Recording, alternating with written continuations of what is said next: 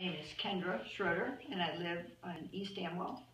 Um, I moved here from Cincinnati, Ohio, about 16 years ago. Moved here for a job, and um, I was a research scientist.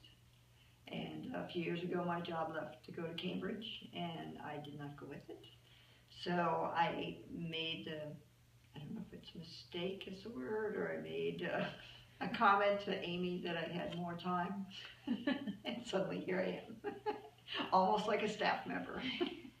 I'm, I'm now on the board, I- I'll be on the board, it'll be a year in a couple weeks, so, um, but I'm mostly involved from the project aspect, the different projects that we do. I've, I'm involved in uh, VITA, um, I, I'm a facilitator, and I also help with the back end, trying to do the data and things like that.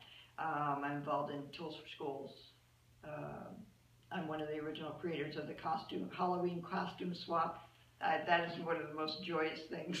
it's a fun thing to do. And also the uh, holiday hands.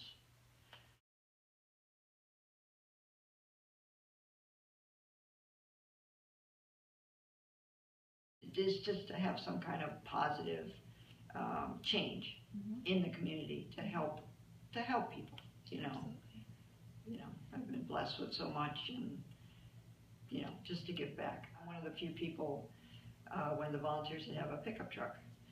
So for Holiday for Hands, occasionally I get to deliver bicycles to people. And um, one time I got to uh, deliver them to three little girls and to see their faces, you know, hand them their helmets and get the bikes out of the truck and see their mom's face and see their face, you know, when they're getting a bike, you know, and they got it before Christmas and they were just all excited. So that was, that was pretty cool. Living United means caring, respecting, just helping everybody. You know, it doesn't matter what, you know, what what they do, who they are, whatever. They all need to be respected and everything. And I, I think that's also something that um, I've gotten so much from volunteering. Is like I've met all kinds of people that I never would have met